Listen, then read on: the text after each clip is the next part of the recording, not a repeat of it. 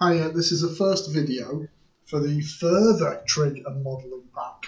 Doesn't get better than a bit of further like further trigonometry. So we've got a few lessons in here, there's five lessons in total. So we'll look at the first one, which is the addition formula. Uh, right, so just ignoring the starter, we've got these equations here, and they're really important. What people get confused and they think that sine of a plus b is just the same as saying it's sine a plus sine b. So if you look at this example here, it wants us to disprove it. It wants us to show without a shadow of doubt that it's all wrong. So what I'm going to do is I'm going to choose a couple of numbers for A and B to make it easy. So let's have, we'll use, do the same as what the, the completed pack has done.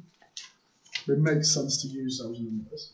So if we say that A is 30 degrees and B is 60 degrees, that way when we add them together we get a nice 90. So if I look at the left hand side of it, and that's sine of plus b.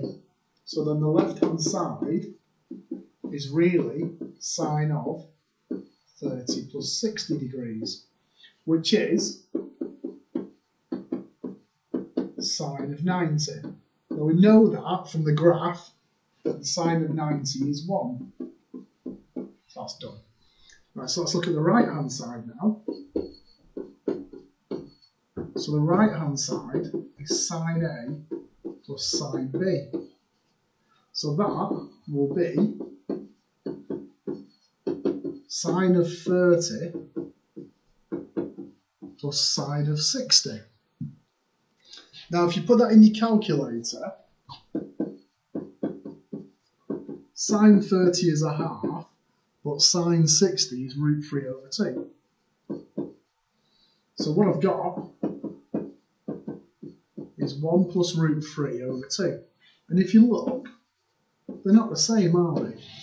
So the left hand side isn't the same as the right hand side because my 1 isn't the same as my 1 plus root 3 over 2. So I've disproved it. So therefore,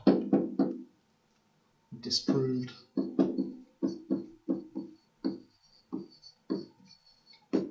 the identity. And it's really, really important to know that sine of a plus b isn't sine a plus sine b. And sine of, or say cos of a plus b isn't cos of a plus cos of b. Then we have these, these compound angular formulas they're called. So they're called compound angular formulas. And they're quite interesting, um, weirdly enough, because each line actually represents two equations. So like sine of a plus b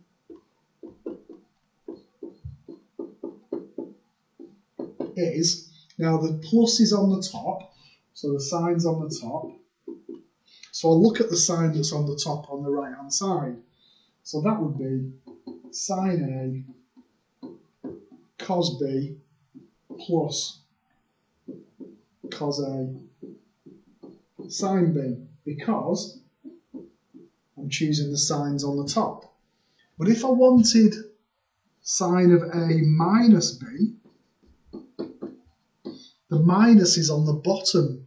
I'm pointing to the board as if you can see me. The minus is on the bottom. So when I choose the sign on the right hand side, I need to choose the bottom sign. So that would be, the bottom sign on the right hand side is a minus. So that would be sine A cos B minus cos A sine B. I'll do it with a tan one because if you look on the tan, they've got different, they're one upside down and all sorts going on. So if I choose tan A plus B, hang on, getting, getting me capitals again. So tan of A plus B So that one's on the top. The plus sign is on the top. There it is. So I'm going to choose the top signs on the right hand side. So that would be tan A plus tan B all over 1 minus, because that one's on the top, tan A, tan B. Whereas if I wanted, bit more legible, if I wanted tan of A minus B, because the minus is on the bottom, I choose the bottom sign. So that would be tan A minus tan B over 1 plus, because the minus is on the, the plus is on the bottom there, tan A, tan B. So I hope, I mean, it's not, to be fair, this isn't easy stuff, and you'll get quite confused with it. But that's fine, it's just the way it is. Just practice makes it easier for us. So I did one with sine and I did one with tan, just showing the two different options that you can have for the equations. So cos works exactly the same. And if you look the, on the, the signs on the cos, they're opposites. So cos of a plus b, because it plus is on the top, is cos a cos b minus sine A sine B.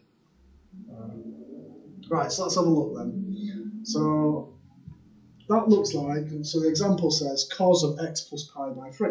So I'm going to use cos of a plus b.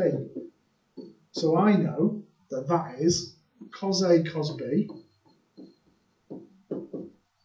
minus, because it the plus is on the top on the left, so I'll take the plus, the top side on the right, which is a minus, sine A, sine B.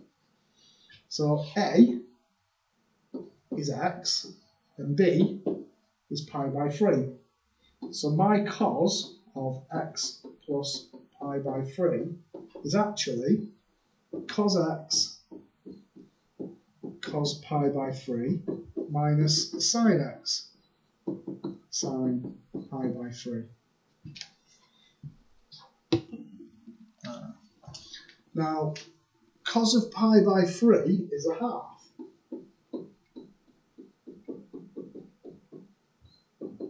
So that would be a half of cos x.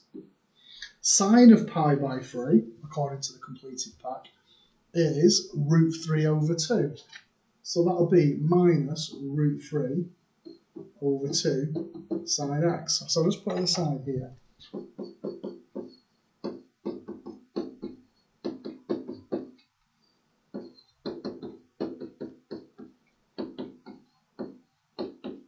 So that's where they come from, the half and the root 3 over 2. Yeah. So there's one for you to have a go at. So give it a go and just see if you get the same as this. So where's my sine equation? Uh, so I've got sine A plus, plus B is sine A cos B plus cos A sine B minus, this is sine of A minus B, isn't it? So that's going to be sine A cos B minus, because I'm doing the same sign there on the bottom, aren't I? Uh, cos A sine B. So I've got sine A cos B plus cos A sine B minus sine A cos B plus cos A sine B. Does anything disappear? So the sine A cos B's disappear, and I'm doubling up on a, cos A sine B. So I've got 2 cos A sine B. Thinking about my capitals here. Thinking about capitals for Cahol. There. There we go. Now, in the olden days, you needed to remember um, what the exact values were, but you can just pop, pop them in your calculator, so there's no real reason. So that table is just there now. What time? So we're 9 minutes 45, so it's a good point to stop there. Okay. Well, I'll start the next video in a second.